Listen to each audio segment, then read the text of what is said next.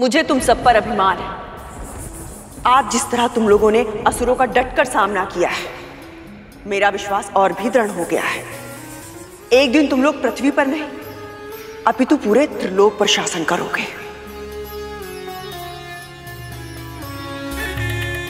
आज तुम सबने जो कौशल दिखाया है, तुम्हारे पिता को तुम पर गर्व होगा और प्रसन्नता भी।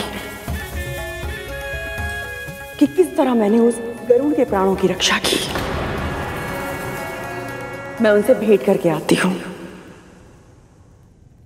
माँ लेकिन मेरे मन में एक प्रश्न था। आ, हाँ माँ वो हम जानना चाहते थे कि ऊँचे आकाश में उड़कर आपको कैसा लगा? हाँ।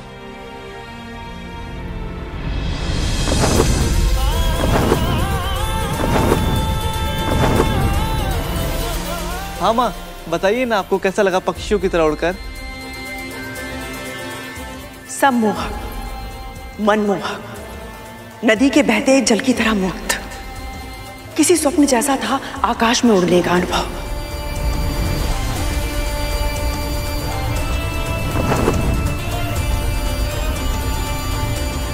धरती से देखो तो आकाश के बादल कितने सुंदर दिखाई देते हैं।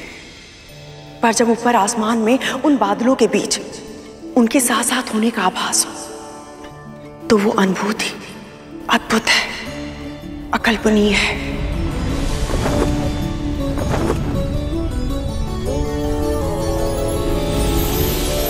मैं तो सबसे अधिक प्रभावित हुई उस गरुण की गति से। वो इतनी तीव्र गति से उड़ता है कि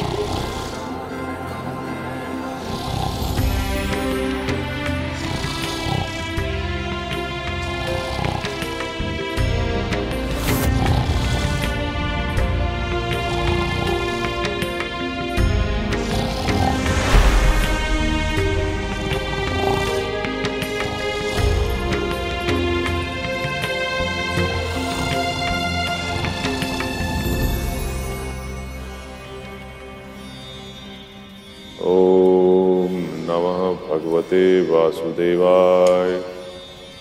ॐ नमः भगवते वासुदेवाय। ॐ नमः भगवते वासुदेवाय। ॐ श्री भगवते वासुदेवाय।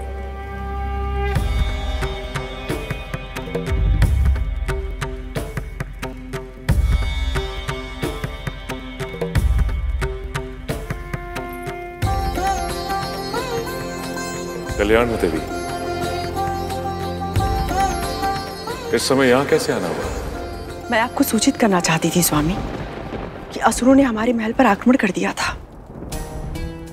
किंतु हमारे पुत्रों ने बहुत ही वीरता के साथ युद्ध किया और विंता की रक्षा की। इसी बीच मैं गरुण को लेकर महाराज बलि के पास गई और उनसे युद्ध समाप्त करके शांति की स्थापना करने में सफलता प्राप्त की। असुर तो गरुण को प्राण दंड देना चाहते थे। किंतु मैंने उन्हें समझाया और गरुण की रक्षा की।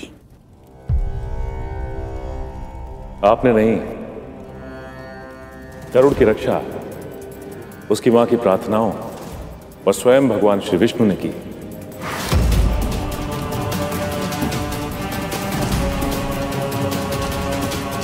देवी कद्रू, आपकी सबसे बड़ी भूल यही है कि आपको लगता है कि जो कुछ भी हो रहा है, वो आपकी इच्छा से हो रहा है। किंतु सत्य यह है कि यहाँ इस संसार में जो कुछ भी होता है भगवान श्री विष्णु की इच्छा से होता है।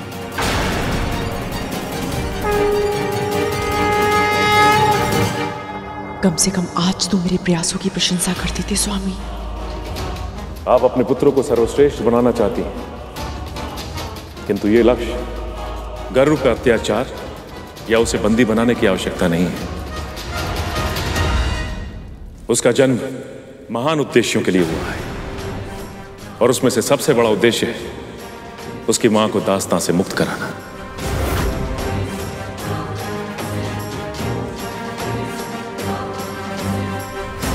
आपको लगता है, कदरू, के आपने छल से शर्त जीतकर विंता को दासी बनाया? किंतु आप तो केवल माध्यम थी। जिस दिन अरुण का जन्म हुआ था, उसी दिन विंता को यह श्राप भी मिल गया था। और साथ ही साथ उसका निवारण भी यदि आपके एक पुत्र ने आपको भीषण श्राप दिया है तो वही आपका यह दूसरा पुत्र आपको श्राप के बंधन से मुक्त करवाएगा।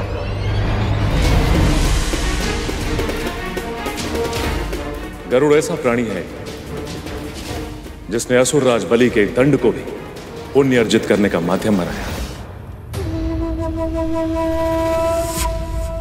उसमें अद्भुत बुद्धि है। आप केवल उसके तन को दास बना सकती हैं, किंतु चाह कर भी आप उसके मन और मस्तिष्क को अपना बंदी नहीं बना सकती। अपनी माँ को मुक्त कराना उसकी नियति है, और वो अपने इस उद्देश्य को पूरा करके रहेगा।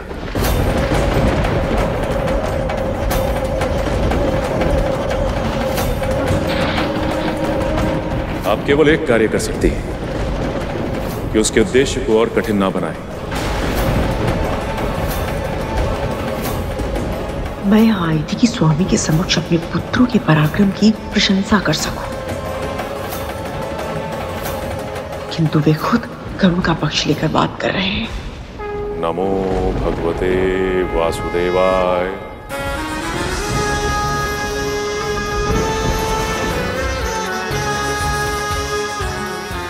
मैंने विंता और करुण के लिए इतना सब किया। अपने पुत्रों के और स्वयं के प्राणों को भी संकट में डाल दिया। असुरों से उसकी रक्षा करने के लिए उन दोनों को तो मेरा जीवन भर के लिए ऋणी होना चाहिए। मुक्त होने के बारे में सोच भी कैसे सकते हैं वो? महाराज। करुण तुम इस समय यहाँ क्या कर रहे हो? क्षमा कीजिए महारानी। मेरा उद्देश्य आपको भयभीत करना नहीं था। बस कुछ कहना है आपसे। जो भी कहना है कल कहना। आज बहुत रात हो चुकी है। तुम जाओ यहाँ से। महारानी एक, एक विनती करनी है। बस दो पल के लिए सुन लीजिए। ऐसी कौन सी विनती करनी है जो एक रात भी प्रतीक्षा नहीं कर सकते तुम? कहा ना मुझे विश्राम की आवश्यकता है। कल बात करेंगे। महारानी यदि इस विचार को और अधिक समय तक मेरे मन में रखा तो मेरे हृदय का भार मेरे प्राण ले लेगा। मैंने अपने जन्म से लेकर आज तक आपको अपनी माँ के साथ अत्याचार करते देखा। अपने वचनों से, अपने कर्मों से उन्हें दुखी करते देखा है। पर आज जब आपने दीदी माँ को मुझे सौंपने से मना कर दिया, तब मुझे आभास हुआ महारानी, कि आपके व्यक्तित्व के और आयाम भी है, जो इस बाहरी आवरण के पीछे छिपे हैं। आज तक मैंने एक अत्याचारी महारानी को देखा था। पर आज एक बड़ी बहन को देखा, जिन्होंने अपने पुत्रों को आदेश दिया कि वो उनकी छोटी बहन की रक्षा करें। आज पहली बार मैंने अपनी विमाता को देखा, जो मेरे प्राणों की रक्षा करने के लिए स्वयं शत्रुओं के सामने दीवार बनकर खड़ी हो गई। आज पहली बार मैंने एक माँ को देखा, जो अपने पुत्रों से इतना स्नेह करती है कि उनके भविष्य की सुरक्षा के लिए उन्होंने अपना जीवन दाव पर लगा दिया। इसे प्रशंसा कहते हैं, करो। तुम्हें तो विनती करनी थी ना? विनती करनी है। पर आपके भीतर छिपी अपनी बड़ी माँ से विनती करनी है मुझे। मेरी माँ को उनका जीवन लौटा दीजिए। उन्हें अपनी दास्ता से मुक्त कर दीजिए बड़ी माँ।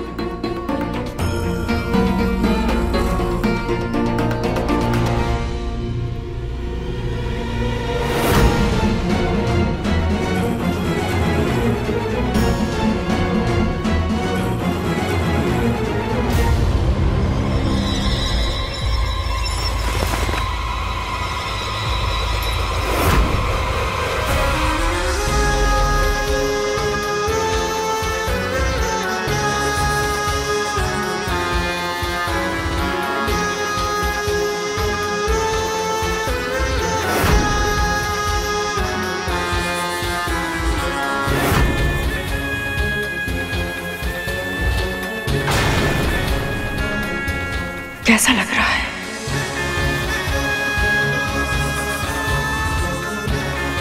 अच्छा नहीं लग रहा है ना? किंतु जिसका जो स्थान होता है, उसे वही शोभा देता है। चरण पादुका चाहे कितनी भी अच्छी क्यों ना हो, उसे अपने सर के ऊपर नहीं रखा जाता।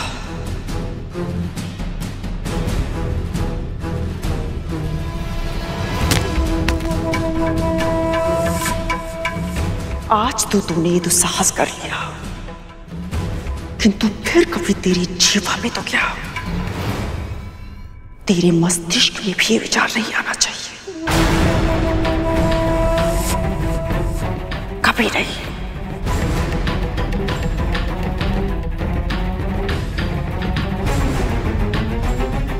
बड़ी माँ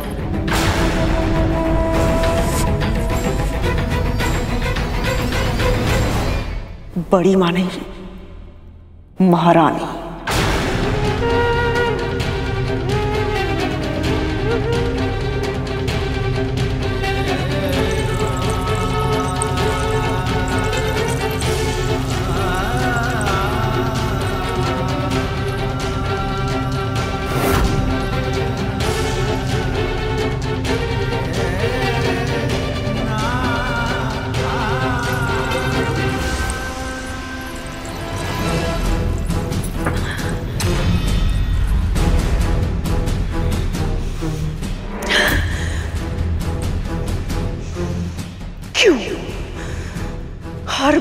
मैं ही क्यों क्यों मेरी हाथों की रेखाओं में इतना संघर्ष है?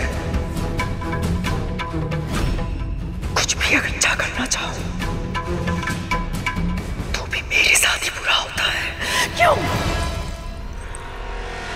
बस। अब भले ही मुझे भाग्य को चुनौती देनी पड़े, अवश्य दूँगी मैं। किंतु इस बार इस बार उस विंता को जीतने नहीं दूँगी मैं। किसी भी मूल्य पर यदि करुण ने उसे दास्ता से मुक्त करा दिया तो वो स्वयं भी मुक्त हो जाएगा। और फिर इतने वर्षों तक जो मैंने उनके साथ किया है, उसका प्रतिशोध वो वो मुझसे और मेरे पुत्रों से लेगा। नहीं।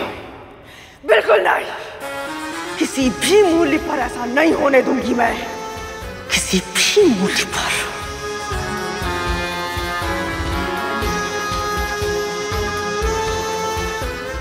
करूँ भी तो क्या? कैसे उस पंछी को अपना पिंजरा छोड़ने से रोकूं मैं? कैसे रोकूं उसे मुक्त आकाश में उड़ने से? कैसे?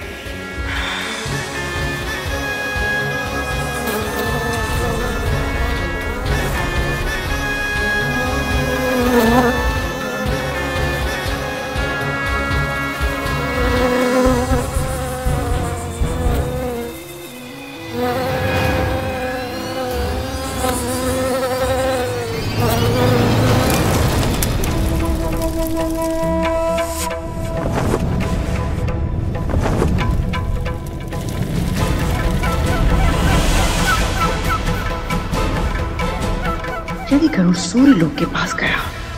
तो इसी कीड़े की भांति उसकी मृत्यु भी निश्चित है।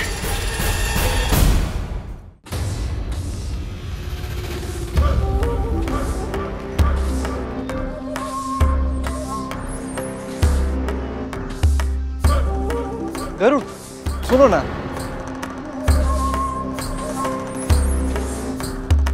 तुम्हें धूमल भैया।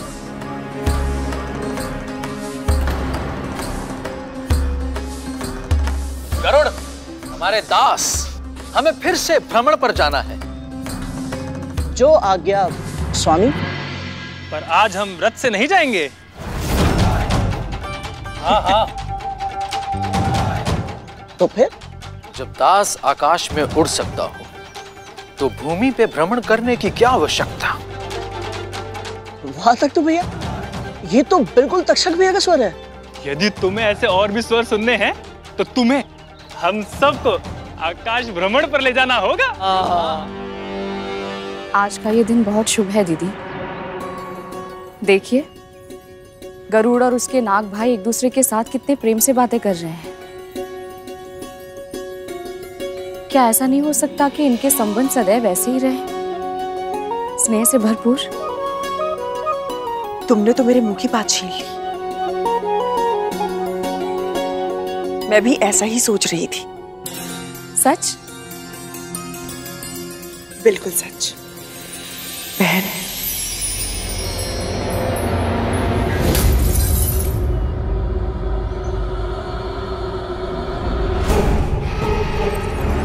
मैं तो ये भी सोच रही थी कि कुछ दिनों से युद्ध की काली छाया हम सब पर मंडरा रही है।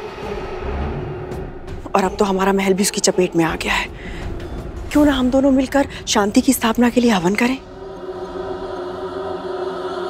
ये तो बहुत ही अच्छा विचार है। तो एक काम करो तुम जाके वन से लकड़ी लेकर आओ मैं हवन की तैयारी करती हूँ। ठीक है।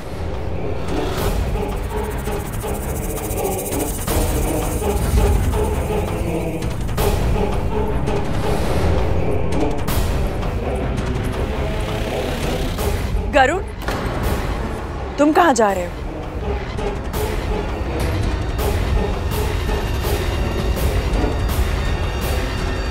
मैं और तुम्हारी माँ शांति स्थापित करने के लिए एक हवन करना चाहते हैं। पुत्र।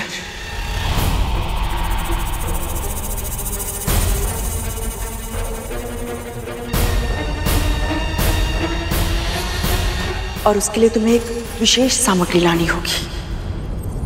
आदेश दीजिए महाराज।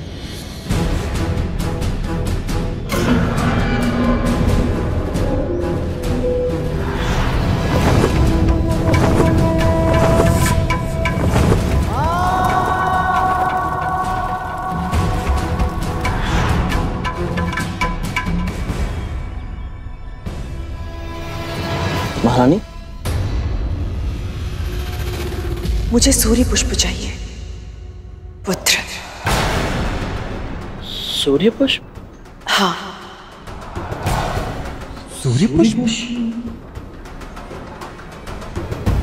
और उसके लिए तुझे सूर्य लोग जाना होगा। क्योंकि अद्भुत पुष्प वहीं खिलता है।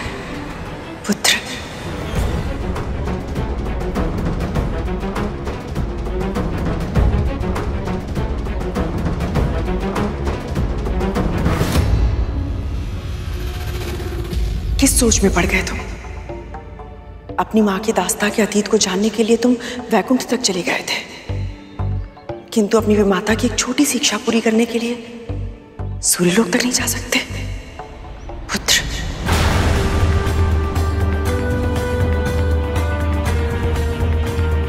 आपकी इच्छा अवश्य पूरी होगी, बड़ी माँ।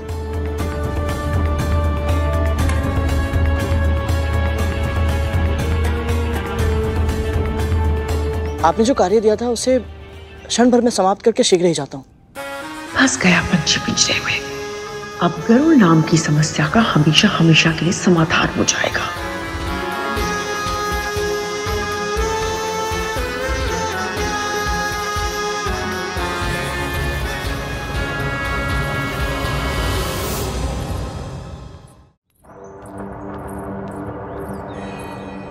गरुड़ हम भी तुम्हारे साथ चलेंगे। हाँ परंतु ले चलो ना गरुड़। बहुत मन है हमें अंतरिक्ष भ्रमण करने का। अच्छा ठीक है। परंतु आप लोग महारानी के आगे ले लीजिए पहले।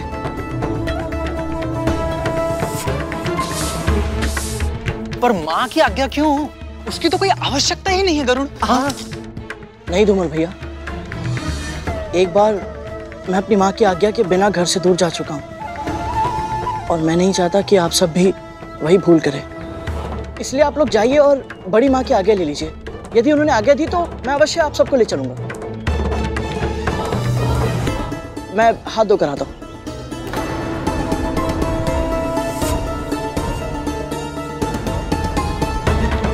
करुण माँ की आज्ञा के बिना हमको लेकर नहीं जाएगा तक तू और माँ माँ आज्ञा देगी नहीं। तो क्या करें भैया? बड़ा मन है अंतरिक्ष भ्रमण करने का।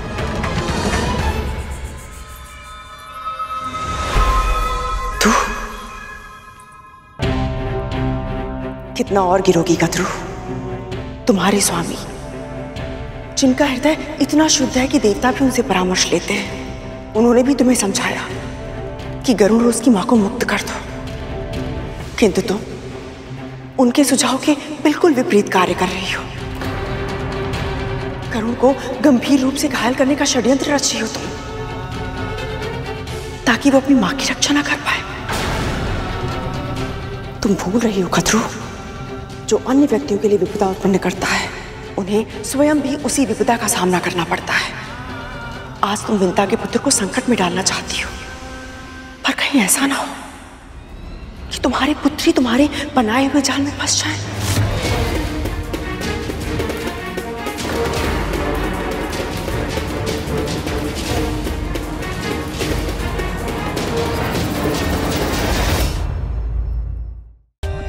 For more updates, subscribe to our channel, click the show links and enjoy watching the videos.